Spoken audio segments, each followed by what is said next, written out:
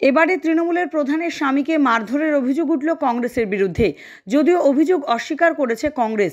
ঘটনাটি রেজিনগর থানার কাশীপুর বাঘাপাড়া এলাকায়। বিদায়ী পঞ্চায়েতের প্রধান ও এবারের প্রার্থী ফিরোজা বিবির স্বামী তোফাজুল শেখ বাড়ি থেকে বার হচ্ছিলেন। সেই সময় কয়েকজন কংগ্রেস আশ্রিত দুষ্কৃতীরা তাকে আক্রমণ করে বলে অভিযোগ। তার মাথায় গুরুতর আঘাত লাগে। তাকে বেলডাঙ্গা এক ব্লক প্রাথমিক স্বাস্থ্য কেন্দ্রে নিয়ে যাওয়া হয়েছে। বর্তমানে প্রাথমিক স্বাস্থ্য কেন্দ্রে চিকিৎসাধীন তিনি। এগারোটার সময়তে বাড়ি থেকে বের হলাম, আমার একটা মেম্বার ফোন করেছিল।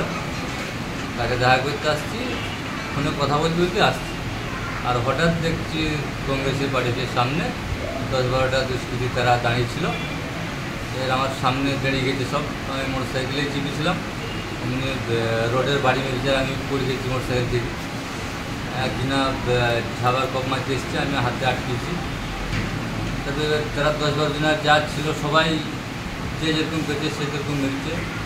চেঁচানোর চোটে তখন আমিও পাড়ার প্রতিবেশী, সমস্ত সব আমার এলাকার লোকজন এসে তখন আমাকে উদ্ধার করে